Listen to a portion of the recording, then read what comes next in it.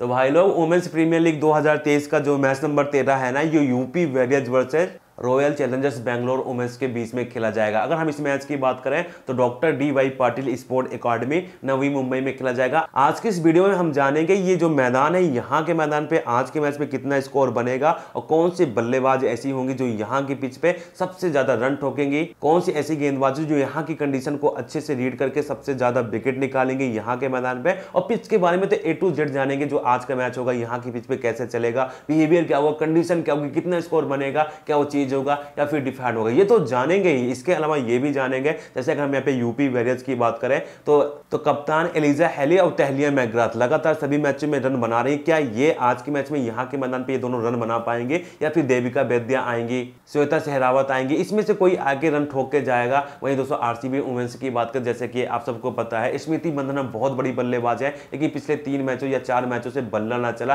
तो क्या आज के मैच में वापसी करेंगी मंदना और लंबी पारी खेलेंगे? सोफी डिवाइन जिस तरह से लगातार सभी मैचों में रन बना रही क्या वैसे ही रन बनाएँगी? या फिर एलिस पेरी जिस तरह से लगातार सभी मैचों में रन बना रही, वैसे ही यहाँ पे भी रन बनाएँगे। इधर नाइट अभी तक नहीं चली, क्या वो आज चलेंगे? रीचा घोष भी अच्छे से फिनिश ना कर पाए, क्या वो कर पाएँगे? ये सारी चीज़ें यहाँ पे जानेंगे। और जैसे रेणुका सिंह की बात कर ले राजेश गायकवाड़ की बात कर ले इंडिया के लिए खेलती है एक्सपीरियंस है। लेकिन अभी तक वुमेन्स प्रीमियर लीग में बढ़िया परफॉर्मेंस ना कर पाए, क्या यहाँ के मैदान पर बढ़िया परफॉर्मेंस कर पाएँगे? सबसे ज़्यादा विकेट निकालेंगे या रन निकाल पाएँगे? मेगन सूट की बात करें ऑस्ट्रेलिया से आती है। कमाल की गेंदबाज है, लेकिन अभी तक टाइम फिस नहीं सोफी स्केल्टन की बात करें, दीप्ति शर्मा की बात करें, लगातार सभी मैचों में विकेट निकालने किफायती होने, क्या आज के भी मैच में वैसी गेंदबाजी कर पाएँगी या आरसीबी की जो ज़बरदस्त बल्लेबाजी है, उसके सामने खो जाएँगी खोई खोई से नज़र आएँगे। मतलब ओवरऑल यही जानेंगे आज के मैच में कौन सी ऐसी बैटर है जो सबसे ज़्यादा रन ठोकेगी, कौन सी ऐसी गेंदबाज है जो सबसे ज़्यादा विकेट निकालेगी। सोचो, अगर हमें इसका पता चल जाएगा तो फंटेसी क्रिकेट की जो विनिंग टीम है, उसे बनाने में आसानी तो होगी ना?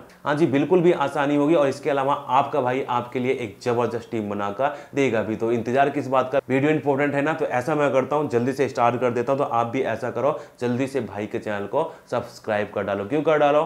क्योंकि आपको पता है, मैं कोई हीरो या सेलिब्रिटी थोड़ी ना हूँ, मैं तो आपके बीच का रहने वाला, आपका अपना भाई हूँ। सोचो, अपने भाई का सपोर्ट अगर आप ना करेंगे तो कोई बाहर से आएगा भाई का सपोर्ट करने के लिए। ना जी, कोई भी ना आएगा। करना क्या? कुछ भी नहीं करना, बस चैनल को सब्सक्राइब करना, इतना तो कर सकते हैं ना? सबसे पहले हम यहाँ पे यूपी वेरियस की बात करें। अगर हम इनके खेमे में चेंजेस की बात करें तो मे भी कोई भी चेंज ना होगा। पिछले मैच में जो इनकी प्लेइंग इलेवन थी, बिल्कुल सेम प्लेइंग इलेवन के साथ उतरेंगे। आरसीबी वुमेन्स की बात करें तो मे भी इनके खेमे में एक दो चेंज हो सकता है। क्या चेंज हो गए वो अभी मैं बता नहीं सकता, लेकिन मैच स्टार्ट होने के दो से तीन घंटे पहले आपको मेरे टेलीग्राम पे दोनों टीमों की प्रॉपर प्लेइंग इलेवन मिल जाएगी। सिर्फ़ प्लेइंग इलेवन ना मिलेगी टेलीग्राम पे। इस मैच की दो तीन ड्रीम इलेवन की ज़बरदस्त टीम मिलेगी।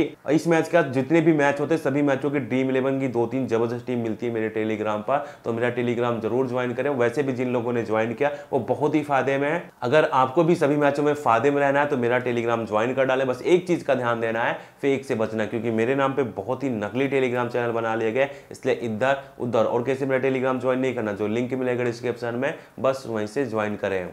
तो भाई लोग, हमारे पास दोनों टीमों की प्लेइंग इलेवन आ गए ना। अभी जानते हैं इसमें से कौन सी बहन चलेगी और कौन सी अपनी बहन हो जाएँगी फ्लॉप लेकिन उससे पहले ना थोड़ा सा पिच का बिहेवियर जान लेते कंडीशन जान लेते। जान लेते हैं यहाँ के मैदान पे जो अभी चार, पाँच या छह मैच खेले गए, उन मैचों में पिच का बिहेवियर क्या कंडीशन रही, क्या कहानी रही और उस कहानी के हिसाब से आज के मैच की कहानी क्या हो सकती है। चलो सारी चीज़ों को जानते हैं और साथ में समझते हैं। तो डी वाई पार्टी स्पोर्ट अकाडमी में अभी तक वुमेन्स प्रीमियर लीग के छह मैच खेले गए, जिसमें से दो मैच में क्या हुआ टारगेट डिफेंड चार मैच में क्या हुआ टारगेट चीज़ मतलब यहाँ के मैदान पे अभी तक जो मैच खेले गए, ज़्यादा मैचों में क्या हुआ है टारगेट चेज हुए या टारगेट चेज ज़्यादा हो रहे हैं। एवरेज स्कोर यहाँ पे फ़र्स्ट इनिंग का 174 174 रन मतलब यहाँ पे ठीक ठाक रन बनता है तो बल्लेबाजों को रखना है। लेकिन कोई कोई मैच लो स्कोरिंग होता है तो गेंदबाजों को भी हम रखना है। तो कौन से बल्लेबाज, कौन से गेंदबाज को रखना अपनी फंटेसी क्रिकेट की टीम में, वो आगे जानेंगे। टारगेट चेज की बात करें तो वन सिक्सटी के नीचे स्कोर बनेगा तो टारगेट चेज हो सकता है। टारगेट डिफेंड की बात करें वन एट्टी प्लस स्कोर बनेगा तो दस मैच में से आठ मैच में टारगेट डिफेंड हो सकता है। 166 से 182 के बीच में स्कोर होगा तो आप समझ जाना, अभी जो मामला है, ये तो बराबरी का आ गया। चेज भी हो सकता है और डिफेंड भी हो सकता है। इस मैदान का जो हाईएस्ट स्कोर है फ़र्स्ट इनिंग का 211 रन, जो कि दिल्ली कैपिटल्स वुमेन्स के नाम पर है। लोएस्ट स्कोर है यहाँ पे फ़र्स्ट इनिंग का 105 105 रन ऑल आउट ये भी दिल्ली कैपिटल्स वुमेन्स के नाम पर। इससे क्या साबित होता है? अगर आप अच्छी गेंदबाजी करोगे विकेट मिलेंगे, अच्छी गेंदबाजी ना करोगे, रन पड़ेंगे। क्योंकि एक ही टीम एक टीम के सामने 211 बना लेती है और वही टीम अगली टीम के सामने 105 पे ऑल आउट हो जाती है। हाईएस्ट टोटल चेज की बात करें, यहाँ के मैदान पे तो 169 जिसे यूपी वेरियस ने गुजरात टाइटंस के सामने किया था। मतलब जो मैंने बताया था कि 166 के आसपास होंगे तो टारगेट चेज हो सकते हैं। तो वही यहाँ पे आपको देखने को मिल रहा है। लोवेस्ट टोटल डिफेंड की बात करें 207 रन, जिसे मुंबई इंडियंस ने गुजरात टाइटंस के सामने किया था। मतलब डिफेंड करने के लिए आपको लंबा स्कोर यहाँ पे बनाना ही पड़ेगा। ये आंकड़े दिखा रहे हैं। स्कोरिंग पैटर्न की बात करें तो 150 के नीचे फ़र्स्ट इनिंग में टू टाइम स्कोर बना। 150 से 169 के बीच में फ़र्स्ट इनिंग में दो बार स्कोर बना। 190 या इससे ज़्यादा फ़र्स्ट इनिंग में दो बार स्कोर बना। तो स्कोरिंग पैटर्न देखने के बाद क्या लग रहा है? यहाँ पे जो मैच होते हैं, वो मतलब लो भी होते हैं मीडियम स्कोरिंग भी होते हैं और हाई स्कोरिंग भी होते हैं। इसका रीजन ये है कि जो टीम पहले बल्लेबाजी करने आती है पावर प्ले में दो तीन विकेट गिरा दिया तो भैया आगे संभल संभल के खेलती है और बाद में ये जो सरफेस है ड्राई है, जब संभल संभल के खेल रही होती है तो बाद में जो स्पिनर्स गेंदबाज है बॉल पुराना होने के बाद काफ़ी ज़्यादा हेल्प भी करने लगता है तो रन कहाँ से बनेंगे? तो जो मैच होता है लो स्कोरिंग मैच होता है। लेकिन जो टीम यहाँ पे शुरू में पावर प्ले में विकेट ना गिराती, अच्छे खासे रन बना देती है, बाद में जब स्पिन के लिए पिच यहाँ का सपोर्ट करने लगता, थोड़ा बहुत हेल्प करने लगता तो उनके पास बैटिंग होती है तो कहते कोई नहीं, एक आता दस विकेट जाएगा, मारते रहो, चौके छक्के लगाते रहो, क्योंकि यहाँ की जो बाउंड्री लेंथ है, वो थोड़ी सी मीडियम है। तो जो स्पिनर्स गेंदबाज उनको विकेट तो मिलते हैं, अगर उनके सामने अटैक करने जाएँगे तो रन भी उनको पड़ते हैं। लेकिन जो टीम पहले से विकेट खो चुकी होगी तो वो कहाँ से अटैक करेगी? वो तो संभाल के खेलेगी तो ऐसे में तो लो स्कोरिंग मैच होना है। तो भाई लोग, यहाँ के मैदान पे इस कंडीशन इस बिहेवियर के हिसाब से कौन से बल्लेबाज या कौन से गेंदबाज आज के मैच में हमारे लिए बढ़िया रहेंगे? चलो एक एक करके जानते हैं। सबसे पहले हम बात करते हैं यहाँ पे देविका वैद्या की। इन्होंने जो भी तीन चार मैच के लिए एक आधा मैच छोड़ के ज़्यादा मैचों में अच्छी पारी ना आई। हालाँकि मैं मानता हूँ, जो आरसीबी की गेंदबाजी उतनी ज़्यादा अच्छी ना है। और ये जो मैदान है बैटिंग के लिए बढ़िया, लेकिन मुझे फिर भी लगता है देविका वैद्या आज के मैच में ज़्यादा लंबी पारी ना खेल पाएँगे। पाँच दस पंद्रह बना के वापस चली जाएँगे। तो इनसे ना हमें आज के मैच में थोड़ा सा बच के रहना चाहिए। एलिजा हैली की बात करें तो इन्होंने जो चार मैच खेला 185 एक सौ पिचासी रनों की पारी खेली मतलब चार मैच में एक सौ पिचासी रन लगातार सभी मैच में 30 40 50 रनों की पारी खेलनी। और मुझे लगता है जिस तरह से आरसीबी की कमज़ोर गेंदबाजी है, यहाँ का पिच बैटिंग के लिए बढ़िया है। एलिजा हैली आज के मैच में सत्तर, अस्सी या नब्बे या साठ, सत्तर तो मारेंगी मारेंगी कौन? एलिजा हैली थे इनको अपनी टीम में रखना है और हो सके तो कैप्टन एंड वाइस कैप्टन करना है किसको? एलिजा हैली को। श्वेता सहरावत की बात करें तो लगातार इनको मैचों में शुरुआत बढ़िया मिलती, पंद्रह, बीस, पच्चीस की पारी खेलती, लेकिन लंबी पारी ना खेल पाती। और मुझे लगता है आज की मैच में तीस, पैंतीस या चालीस की पारी खेलेंगे, लेकिन बहुत ज़्यादा लंबी पारी ना खेल पाएँगे। आई थिंक श्वेता सहरावत को आज के मैच में हमें अपनी टीम में रखना चाहिए।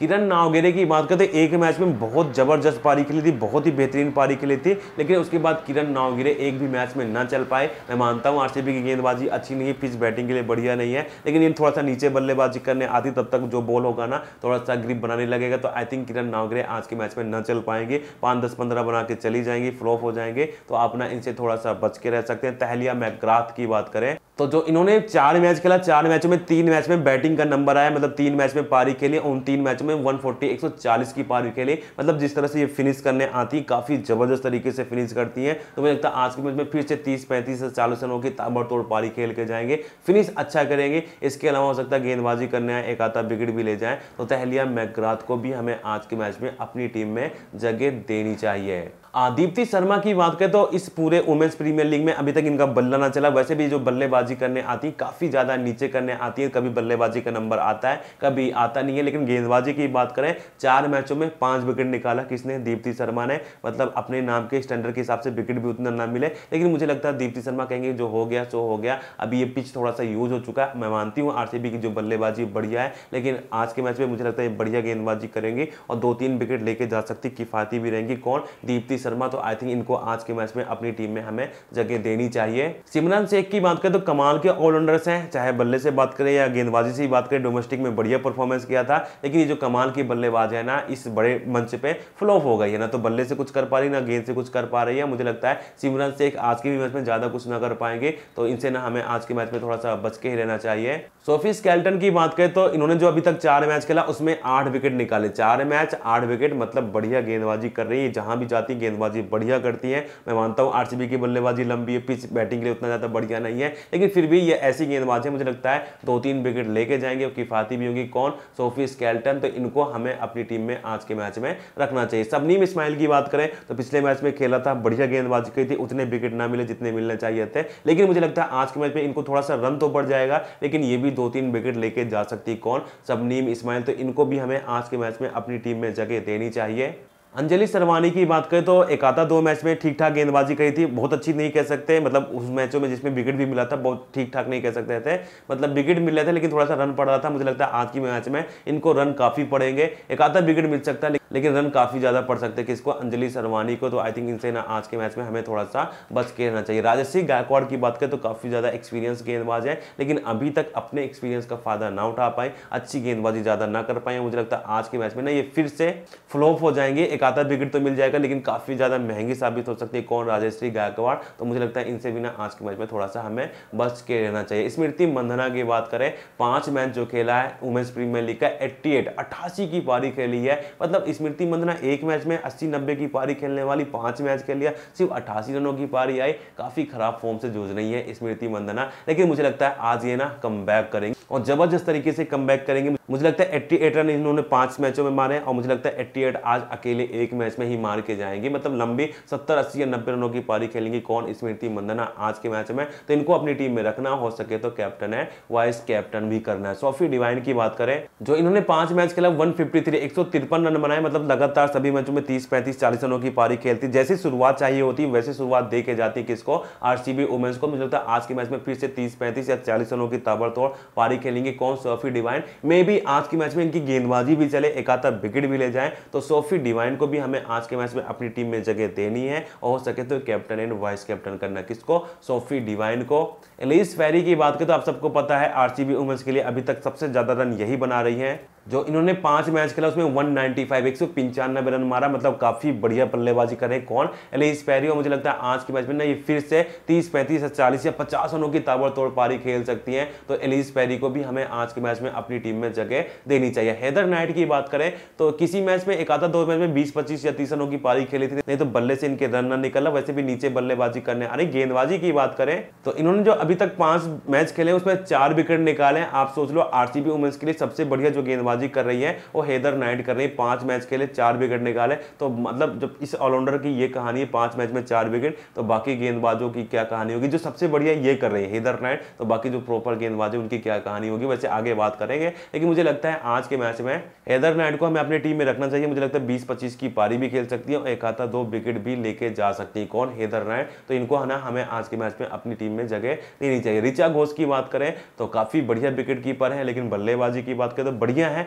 अभी बढ़िया ना चल रही और मुझे लगता है जिस तरह से इनकी बल्लेबाजी फ्लॉप हो रही है, नीचे बल्लेबाजी करने आती हो सकता है जब तक ये आए, तब बहुत ज़्यादा तेज़ी से रन बनाने की ज़रूरत होगी। और मुझे लगता है ये फिर से फ्लॉप हो सकती कौन? रीचा घोष। तो आई थिंक रीचा घोष से आज के मैच में भी हमें बच के रहना चाहिए। श्रियंका पाटिल की बात करें तो ना तो बल्ले से चल रही, ना तो गेंदबाजी से चल रही। काफ़ी खराब फॉर्म से जूझ रही है। एक आता मैच में ठीक ठाक बल्लेबाजी करी जब पहले मैच में इनको मौका मिला था। लेकिन उसके बाद फिर से ये भी मतलब बहकी बहकी से नज़र आए। तो मुझे लगता है आज की मैच में श्रियंका पाटिल ना तो बल्ले से कुछ कर पाएँगे, ना तो गेंद से कुछ कर पाएँगे तो इनसे भी हमें आज के मैच में बच के ही रहना चाहिए। दिशा का साथ की बात करें, दिशा का साथ को कभी खिलाया जाता, कभी बाहर किया जाता, लेकिन जब जब इनको खिलाया जाता था ना बल्ले से कुछ कर पाती, ना गेंद से कुछ कर पाती। कौन? दिशा का साथ और मुझे लगता है आज की मैच में दिशा का साथ की यही कहानी होगी। दिशा इनको ना मिलेगी का साथ आएँगी, और दिशा बहक के चली जाएँगी। तो आई थिंक हमें ना इनसे थोड़ा सा बच के रहना चाहिए। मेगन सूट की बात करें, काफ़ी ज़्यादा एक्सपीरियंस गेंदबाज है, काफ़ी ज़्यादा बेहतर गेंदबाज है, लेकिन अभी तक बहकी बहकी से नज़र आई। बढ़िया गेंदबाजी ना कर पाई कौन? मेगन सूट लेकिन मुझे लगता है आज के मैच में ना, ये दो तीन विकेट निकाल सकते हो। किफायती भी होंगी। कौन? Megan Schutt. तो आई थिंक मेगन सूट को हमें आज के मैच में अपनी टीम में जगह देनी चाहिए। आशा शोभना की बात करें तो आशा शोभना भी ना अभी तक कुछ खास परफॉर्मेंस ना कर पाए। मुझे लगता है आज के मैच में ये भी कुछ खास परफॉर्मेंस ना कर पाएँगे। थोड़ा सा एक आता विकेट तो मिल जाएगा, लेकिन महँगे साबित होंगे। तो आशा शोभना से हमें आज के मैच में थोड़ा सा बच के रहना चाहिए। बाकी रेणुका ठाकुर सिंह की बात करें तो ठाकुर जी, आपको क्या होगा? ये जो हमारी बहन थी ना, वर्ल्ड कप में तो बड़ी अच्छी गेंदबाजी कर रही थी, लेकिन जब वुमेंस प्रीमियर लीग की बात आई तो सोच रहे होंगे कि हम क्यों माल्या के लिए इतनी अच्छी गेंदबाजी करें? लेकिन मुझे लगता है कहेंगे, नहीं, बहुत हो गया। आज ना आरसीबी के लिए बढ़िया गेंदबाजी कर जाते हैं। और मुझे लगता है रेणुका सिंह आज के मैच में एक दो विकेट या तीन विकेट लेंगे, किफायती भी होंगे तो इनको ना हमें आज के मैच में अपनी टीम में जगह देनी चाहिए। प्रीति, बोस की बात करें, इन्होंने मतलब इंप्रेस किया है, लेकिन विकेट उतने ना मिले या अकेले दम पे आरसीबी को जिता ना पाई। वैसे कहते हैं ना, नई लड़की अकेले दम पे कहाँ जिता पाएगी? लेकिन प्रीति बोस ने इंप्रेस किया है और मुझे लगता है उस इंप्रेशन का आज रिज़ल्ट भी आएगा। दो तो तीन विकेट लेके जाएँगे किफाती होंगे कौन प्रीति बोस? तो आई थिंक प्रीति बोस को आज के मैच में हमें अपनी फंटेसी क्रिकेट की टीम में जगह देनी चाहिए। तो भाई लोग, हमने यहाँ पे ना सभी प्लेयर्स के बारे में जान लिया कि इनकी परफॉर्मेंस अच्छी हो सकती है और कौन हो सकती है फ्लॉप तो उम्मीद है इस वीडियो से हेल्प मिलेगी फंटेसी क्रिकेट की टीम बनाने में। बाकी अगर आपको मेरी टीम चाहिए तो ये रही मेरी टीम मैंने टीम बनाई है ना, बहुत ही एनालिसिस करने के बाद बनाई होता क्या, वो सारी एनालिसिस में ना वीडियो में भी कर सकता हूँ, लेकिन वीडियो बहुत लंबी हो जाएगी। आप बोर हो जाओगे, मैं भी थक जाऊँगा। इंपॉर्टेंट यही है, आपके लिए ज़बरदस्त टीम बनाना, जो कि मैंने बना के दे दी। बाकी अगर आपको इस मैच की दो तीन टीम चाहिए तो आपको करना है क्या? कुछ भी नहीं करना डिस्क्रिप्शन में जाना है, वहाँ पे टेलीग्राम की लिंक मिलेगी, मेरा टेलीग्राम ज्वाइन कर लेना है। मैच स्टार्ट होने के 20-25 मिनट पहले आपको इस मैच की जो फाइनल टीम होगी ना, वो मेरे टेलीग्राम पर मिल जाएगी। और जिन लोगों ने पहले से मेरा टेलीग्राम ज्वाइन किया, वो तो काफ़ी फ़ायदे में, काफ़ी ज़्यादा मज़े में है। तो आप पीछे क्यों हो? आप भी ज्वाइन करो, फ़ायदा उठाओ। बस एक चीज़ का ध्यान देना है, फेक से बचना, क्योंकि मेरे नाम पे बहुत ही नकली टेलीग्राम चैनल बना लिया गया, इसलिए इधर, उधर, और किसी ज्वाइन नहीं करना। जो लिंक मिलेगा डिस्क्रिप्शन में, बस वहीं से ज्वाइन करें। तो भाई लोग, आज की वीडियो में इतना ही। वीडियो अच्छी लगी है तो यार लाइक कर दो चैनल को सब्सक्राइब नहीं किया तो कर दो। सब्सक्राइब मिलते हैं अगली वीडियो में। अगले मैच की pick report, match review and fantasy pick के साथ। तब तक के लिए गॉड ब्लेस यू